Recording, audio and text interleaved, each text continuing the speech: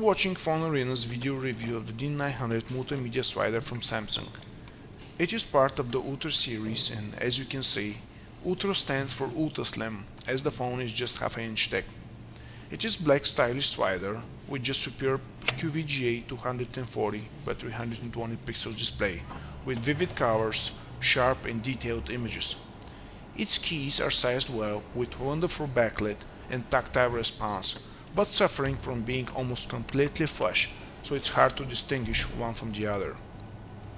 On the left and right sides respectively are the volume keys plus the micro SD slot and the camera key plus the connectors. There's nothing on the bottom or the top as well on the back before you open the slider which requires no effort and slides open very smoothly and easily thanks to the excellent spring mechanism the bulge on the upper slider is the phone's main feature.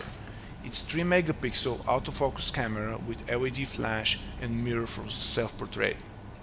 The home screen displays the standard service information and you can set an animation as a background of the display. The main menu is a grid of 9 icons in black and white style, illuminated by different colors, but can also be seen as a list if it's that more convenient to you. Unfortunately, the phone doesn't support themes, but only a couple of color skins, black and silver one. The phone book holds up to a thousand contacts that are displayed as a list. Adding a new one allows you to save multiple numbers and to assign picture and ringtone to it just in a few steps. Nothing extraordinary also in the organizer, which consists of all the standard features like word clock, converter and timers. The camera interface is a little bit complicated, but it has enough options for shooting and the images produced are among the best, as we've compared it with four other 3 megapixel phones in various lighting conditions and environments and it was the leader in outdoor, macros and night shots but indoor in poor lighting suffered from the weak flash.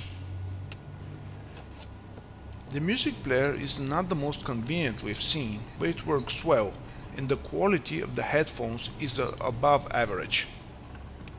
We'd still like if the manufacturer shipped adapter for standard headphones in the box.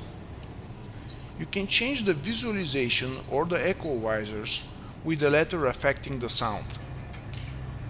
During a call, the quality of the voice was high in contrast to the volume of the sound, which is just average. The signal strength is also average and it is similar to the N73 and Nokia N80 phones, but is weaker than the one of the Sony Ericsson K800.